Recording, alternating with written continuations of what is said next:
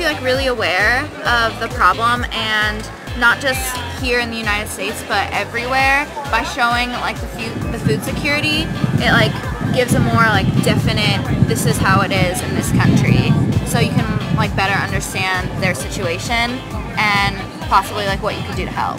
The website's very interactive and it made it interesting to learn.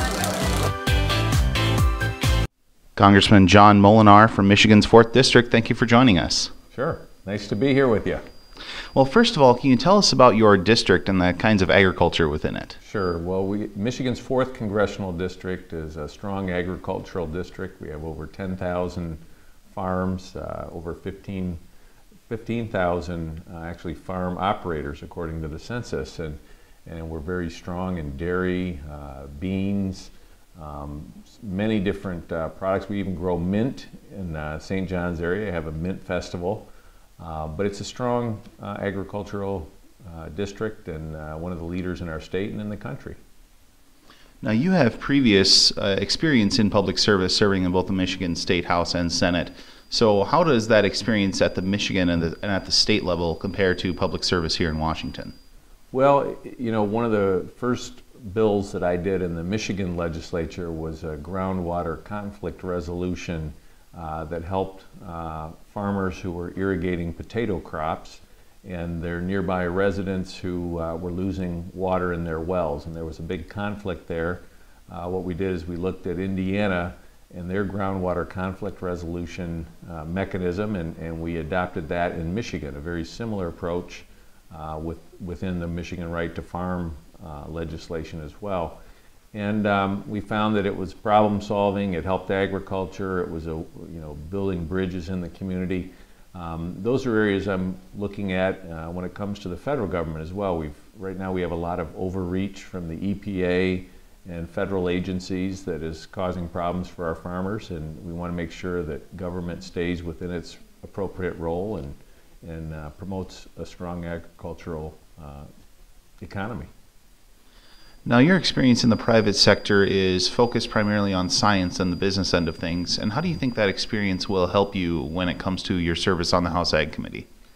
Well, one of the things I, I grew up in a town, uh, Midland, Michigan, which is the home of Dow Chemical. My father was a PhD chemist who grew up on a farm in Indiana, and, and uh, I grew up, was a, a chemistry major, and worked uh, for Dow both as a chemist and then in the marketing area.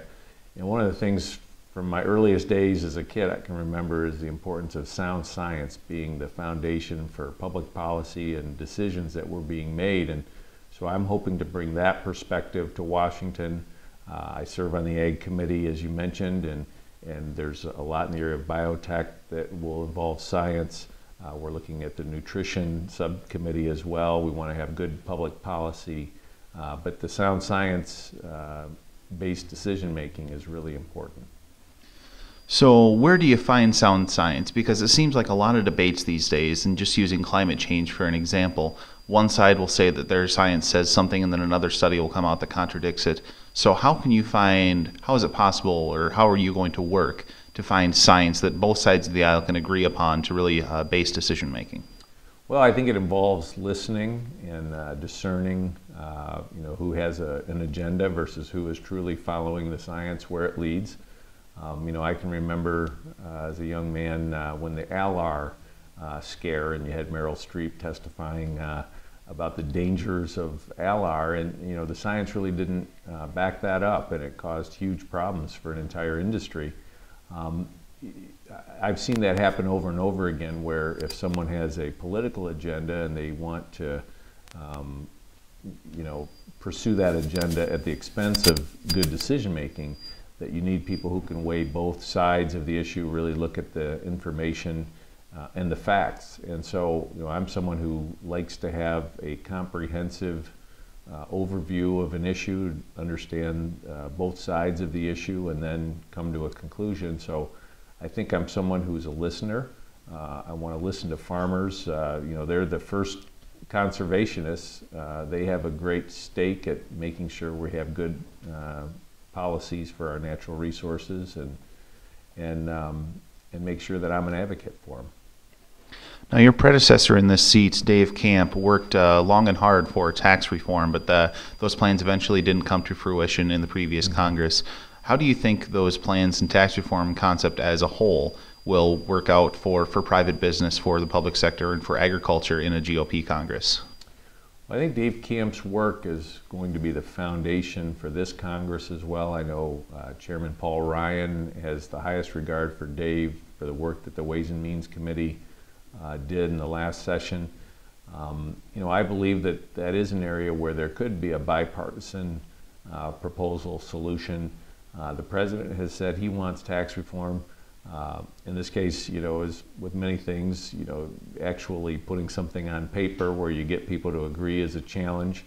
Um, but it sure is important to our economy and to have a pro-growth strategy that, uh, you know, hopefully uh, revenue neutral tax reform that lowers taxes, uh, spreads it out so that it's not picking winners and losers, but a tax code that is simpler, fairer, and uh, promotes growth. Those would be the priorities.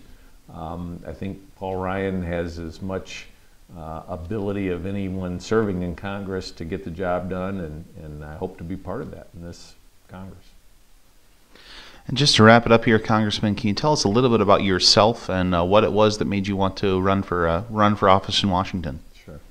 Well, I grew up in a family that wasn't very political, um, but I had a chance to get to know Bill Schuette when he first ran for Congress, and uh, and Dave Camp as well, and and there was a strong ethic of public service, and and I've always been someone who likes to help people, uh, try and do what I can to solve problems, and and so, having served at the local level and city government as well as in the state level, um, I believe I've developed a skill set that I think will help me contribute to the Congress.